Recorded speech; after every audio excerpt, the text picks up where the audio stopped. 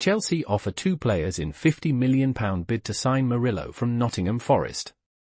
Chelsea have made an approach to sign Nottingham Forest defender Murillo, according to reports in Brazil. Chelsea are also looking to recruit a defender who can immediately challenge for a first-team place and Murillo fits the club's profile after an impressive debut season at Forest.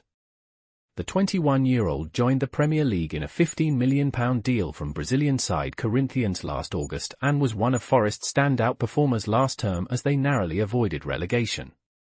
According to Brazilian outlet UOL, Chelsea have now approached Forest to discuss a deal for Murillo but the club are demanding a £50 million fee for the centre-back. It's reported that Chelsea have informed Forest that they will not match their valuation and are considering offering two players as part of their bid in order to offset the transfer fee. Atletico Madrid have also expressed a strong interest in signing Murillo and have already held talks with the defender's representatives. However, the Spanish club are also put off by Forest's £50 million asking price.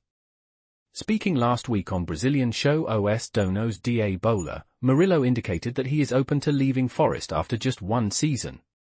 I've received a few offers. Some official, others sounding out, Murillo said.